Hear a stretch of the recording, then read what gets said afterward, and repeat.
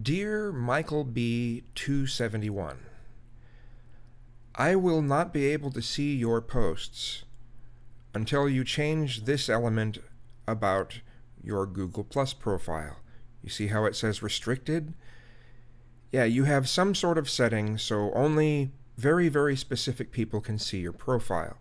This also means that only specific people can see your posts on YouTube because I don't know what's going on, but it seems that Google is recombining Google Plus with YouTube.